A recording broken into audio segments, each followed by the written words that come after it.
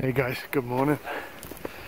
So I've been pondering whether or not to do a little photography blog. And as much enjoyment as I get out of Mr. Simon Baxter and Mr. Tom Heaton and Adam Gibbs and uh, Gavin Hardcastle's channels, uh, I thought there might be room for one more landscape guy. So, uh, welcome to my inaugural video on photography. So, we're out hiking the dogs yesterday. I'm actually out hiking today as well, but luckily my uh, super duper partner Kim has uh, has the dogs that way, about 20 or 30 yards. But uh, yeah, they're not cute like Meg or fluffy like Monty. You'll know who those guys are if you uh, follow any photography channels. But uh, yeah, we were up here yesterday and uh, wind was blowing pretty hard, but just heard this torrent of water. And uh, it's spring here in the Rockies, so yeah, we're used to the snow melt. But uh, wandered over and there was this huge waterfall, so, very seasonal, but the snow melt was so uh, so fast yesterday that uh, very much got our attention. So I actually grabbed my gear today and figured I would come over and see if uh, I could get a shot. So, and I apologise, I'm just on my phone. I hear the water. Oh, nice. Very nice. So I'm actually up on a, uh, oh, crap. And see me fall through snow and everything here. Bushwhacking. okay. I just realised I was walking on a cornice that was, uh, didn't actually have anything underneath it. so, this snow here, yeah, there's nothing under there. It's just the rocks that go straight down. And it's a fairly, fairly good drop. Certainly enough to ruin my day. I've broken enough bones. But, uh, yeah. I'll give you a, a better view around here in a second. Or try to. And see what we can get. If anything. It's pretty overcast today. You can see behind me but uh, looking towards the water it's uh, actually blue skies behind there. Ooh, some beautiful patterns here as well. Okay. Alright so there's the falls behind me. Right there. Sorry. Um, as you can see I'm kind of set up. Um, nothing exceptional in the composition. Um, really, I, I do like the general shapes um, of the way that uh, kind of comes down. Uh, it's very subtle, um, but there is basically a bowl there, obviously, and that's why the water's coming down. Uh, but the falls themselves are actually really nice. And like I say, this is just a seasonal um, a seasonal fall just during the snow melt. But uh, very close to the house. That's that's really nice. So um, I'm on manual. I'm just shooting straight from my um, histogram. Uh, let's see if I can. Uh, sorry about that. Yeah, so I'm at 15th of a second. I'm just trying to uh, keep a little motion in that water.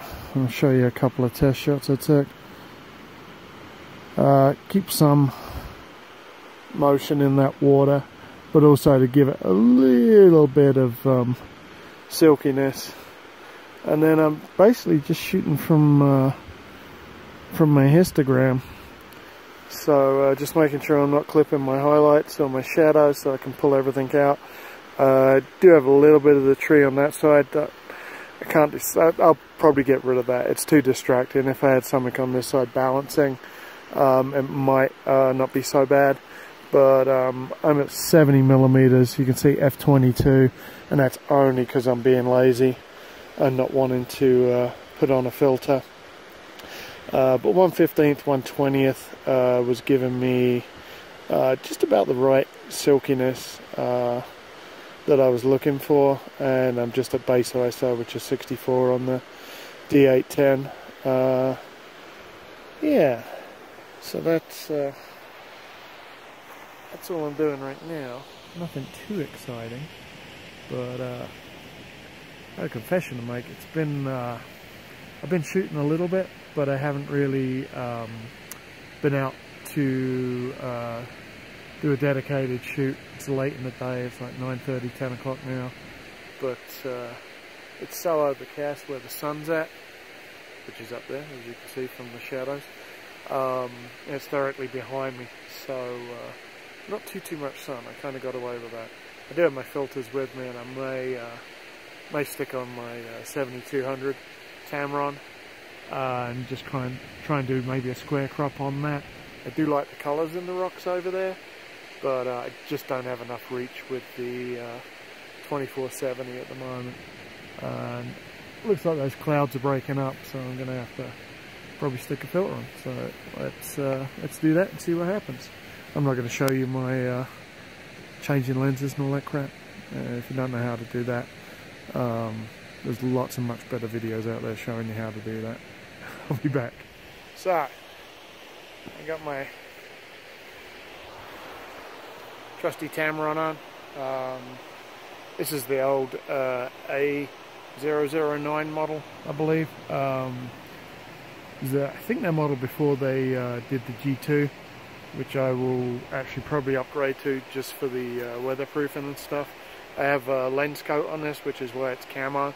Um, I don't know that it makes any great difference if it's shooting wildlife, if it's camouflage or not, but um, it certainly gives weather protection.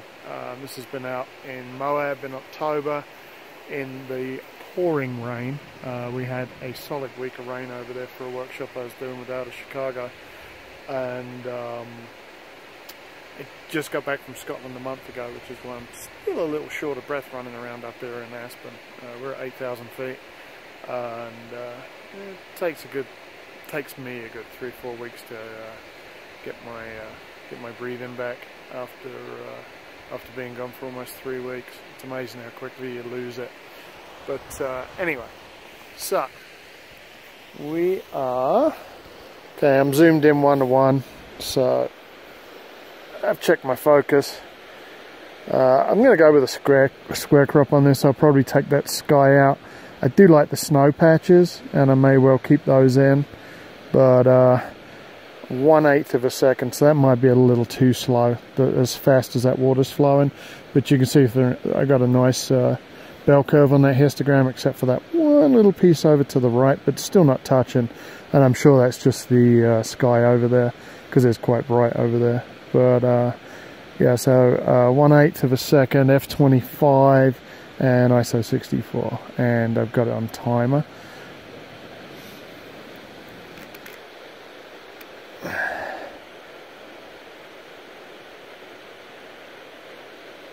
It looks pretty sharp to me. Actually do like the water.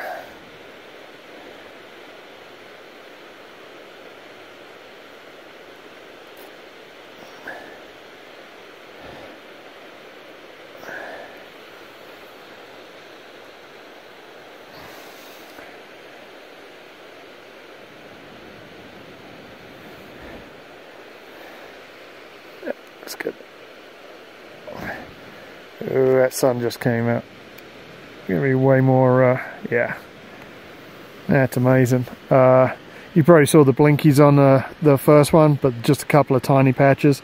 But the sun just came out from behind the clouds, which showed you why it was blinking so crazily.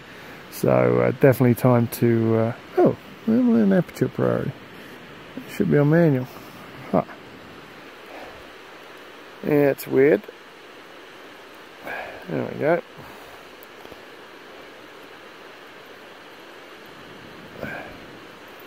Yeah, and you can see, hello darling, Oh, there's my little girl. Corona. And Peppy. Hi. Yes. Anyways, that might be it for today. If the dogs are back, that means we're ready to go. But uh, anyway, uh, I'm going to try and get into this a little more and uh, do it a little more frequently. Like I say, it's my first one. It's just off my phone. I apologise for that. Uh, I will grab my GoPro and... Hi, Rusty. There's my other boy. The number one boy, Rusty Dog. Um, yeah, I will uh, dig out my GoPro and uh, start trying to make these a little nicer. But anyway, hope you guys have a great day. Uh, thanks very much for watching. I do really appreciate it. Um, and uh, yeah, bye.